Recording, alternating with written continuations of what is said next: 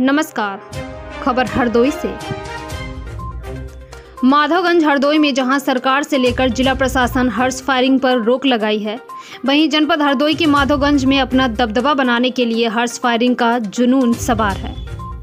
लोग समारोह में भी फायरिंग करने से बचते हैं, लेकिन हर्ष फायरिंग का खुद ही अपना वीडियो बनाकर सोशल मीडिया पर अपलोड कर रहे हैं। ऐसा ही ताज़ा मामला जनपद हरदोई के माधोगंज का है।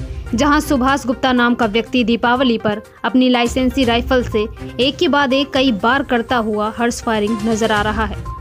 और फायरिंग करने वाले सूरज गुप्ता नाम से सोशल मीडिया यूज़र्स ने सोशल नेटवर्किंग साइट फेसबुक के अकाउंट पर अपना हर्ष फायरिंग का वीडियो अपलोड किया।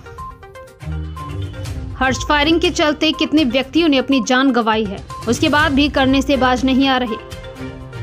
वीडियो वायरल होते ही पुलिस विभाग में हड़कम मच गया। फायरिंग करने वाले आरोपी के खिलाफ पुलिस कार्रवाई में जुट गई है।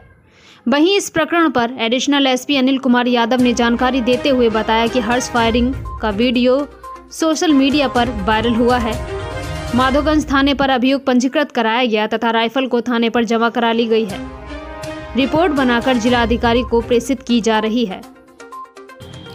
हर्ष फायरिंग का वीडियो थाना माधवगंज जनपद हरदोई का है, जिसमें एक व्यक्ति है संतोष गुप्ता, जो कि कस्बा माधवगंज के निवासी हैं। इनके द्वारा दिवाली के अवसर पर असलहे से फायरिंग की जा रही है। पुलिस को जैसे ही वायरल वीडियो की जानकारी मिली, पुलिस ने तत्काल उचित धाराओं में अभियोग पंजीकृत किया है और असलहे को थाने पर जमा करा लिया गया है तथा इनके विरुद्ध सख्त निलंबन की रिपोर्ट जिलाधिकारी महोदय को प्रेषित की जा रही है।